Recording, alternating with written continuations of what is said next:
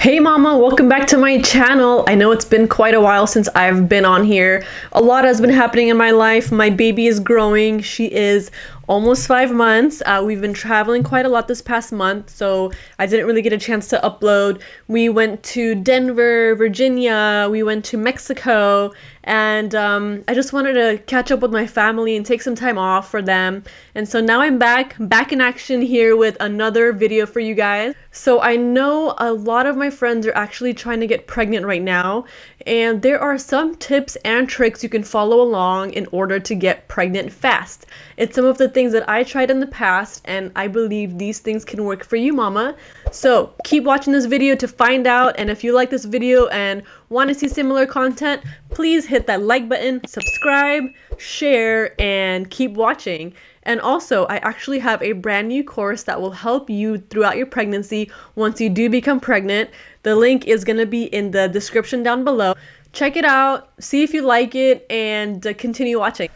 So, Mama, you're thinking to yourself, are there really things that I can do to get pregnant fast? Well, yes, but they don't work for every couple. People have a variety of different reasons for wanting to conceive quickly. Maybe you want to space your children a certain number of years apart, or maybe you're trying to beat that biological clock. You might want to get pregnant because your partner is in the military and you'd like to conceive before deployment, or you may just be eager to become a parent. I mean, everyone has a different timeline. We're all in different stages of our life. Let me tell you that it is important to realize that the tips and tricks that I will be talking about in this video will not work for everyone because unfortunately, pregnancy isn't something that can be exactly planned to the T. So if you can't get pregnant as quickly as you'd like, don't blame yourself but you can try some of the tips and tricks in this video that might or may help you conceive fast. Because for most, some couples will literally get pregnant the first or second try, but for others it takes longer. Personally, it took my husband and I about 10 months to finally get that positive on that pregnancy test after my heartbreaking miscarriage in 2018. Almost all of 2019 we tried conceiving and I finally got pregnant in October 2019 and I had my beautiful baby girl this past June. There is a rhyme and reason to all of this, so keep on watching and let's jump right into it. First and foremost, you need to consult your doctor before following any of these tips. But number one is to stop using birth control. I mean, that's obvious because if you want to get pregnant, you need to stop using that birth control. Because what you may not know is that you may need time for your fertility to return after you stop the birth control. It depends on what kind of birth control that you're using. With most forms of birth control, your fertility will return the next cycle after you stop using it. So there may be a few bumpy months while your cycle tries to regulate itself, but it's also possible to get pregnant in your first official fertile month. That's how Kim Kardashian did it with her first pregnancy. There are possible delays because it's not always a quick and simple process. So if you have an implant or an IUD, you'll need to schedule a doctor's appointment for removal. That does take time. It may also take a few months for your cycles to actually regulate after hormonal IUD removal. With the copper only IUDs, your fertility should be able to return quickly. Uh, but if you have been on the birth control shot, it actually takes several months for your fertility to return. So please speak to your doctor so you can have real realistic expectations when you can start to actually conceive. Number two is you need to have as much intercourse as possible.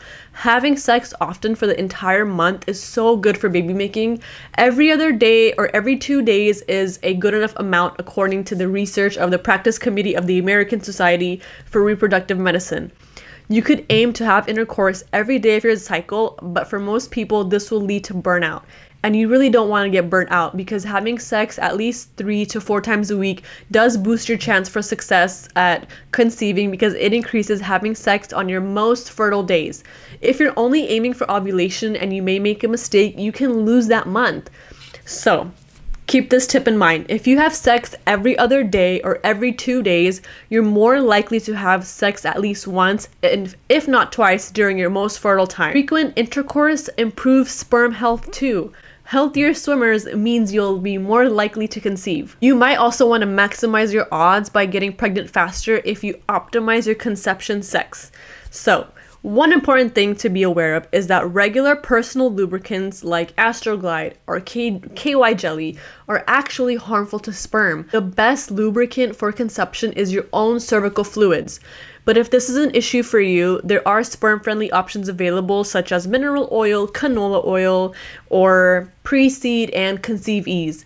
It's questionable whether sexual position or lying down after sex will help you conceive, but people out there do believe in certain positions helping you conceive. In fact, the committee opinion from the American Society for Reproductive Medicine says there really is no effect, however, all those old wives' t- uh, tales may say. However, research on IUI treatment found that lying down after insemination does boost pregnancy rates. If you're trying to conceive faster, you may want to look at least trying to lay on your back after sex for a few minutes. On the other hand, if the missionary position is a big turnoff for you, maybe creative positions would help. Research has also found that sexual arousal plays a role in how much sperm is ejaculated. Female orgasms may also help with conception. Having passionate intercourse may help you get pregnant faster as well. But with that being said, please don't stress about having an orgasm, it's not required. Now let's jump into ovulation. Your most fertile days are the two days prior to ovulation, so you can figure out which days these are through several methods, including charting your body basal temperature, checking for fertile cervical mucus, tracking any cervical changes, and using a saliva ferning microscope, or just plotting down the days in an app. So, the problem with all these methods is they have a steep learning curve. For charting your temperature, figuring out how to get your temps right in the morning, and interpreting your chart is an issue.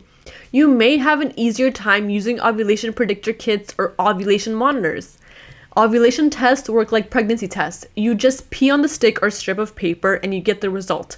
They are a bit more difficult to interpret than pregnancy tests, so just read the instructions carefully. Ovulation monitors take much of the learning curve out of ovulation tests. The digital device tells you when you're most fertile. They are more expensive though, so you may want to combine charting with ovulation predictor kits and maybe even using an app on your phone to track your ovulation days and some other factors that can affect getting pregnant fast in the short term. Uh, there are quite a few things, so let's talk about them. In order for a woman to increase her chances of getting pregnant, you want to do a few of these things. You want to get enough sleep because odd sleep and wake cycles can throw off the menstrual cycle, which is unlikely to lead to infertility, could make getting pregnant quickly more difficult. Next is you want to eat a balanced diet, drink plenty of water. Hydration is very important. Uh, avoid binge diets or crash diets or extreme eating plans when you try to conceive. Cut back on caffeine. you want to just have about two cups of coffee or less a day. It's debatable whether coffee really impacts fertility, but since you want to get pregnant fast, curbing excess caffeine intake may help.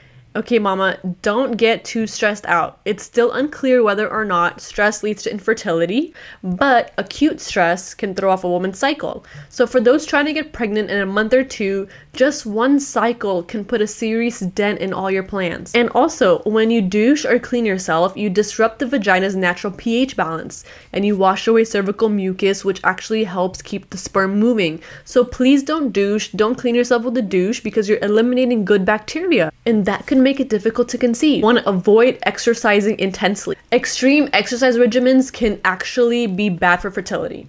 And for men, keep the family jewels away from the heat. So no hot tubs, no laptops placed directly on the lap, no seat warmers, no sitting too close or too close to a fire pit um, because they can all negatively impact the sperm count. And finally, the most often repeated health tip is quit smoking, and cut down on alcoholic drinks. This is for both men and women because this will not only improve your health, but also help you have a pregnancy and a happy and healthy pregnancy and child. There are a few other things you can do to improve fertility and overall health. Women should try to achieve a healthy weight gain, try to eat more fruits, veggies, um, proteins, lean meats, and this can assure you have a healthy and balanced diet. Make sure you're getting enough folic acid, which is essential for a healthy pregnancy, and take one prenatal a day. Before you know it, mama, you will be taking that pregnancy test with the two positive lines, calling all your friends with good news, and holding your baby in your arms in just nine months. I hope you found this video helpful. If you like this video, hit like, subscribe, share this video, and also um, remember to check out my pregnancy core pregnancy, which can help you throughout your whole pregnancy to maintain a safe and confident pregnancy for all you mamas, especially during this time. All the info is down in the description below, and I'll see you next time.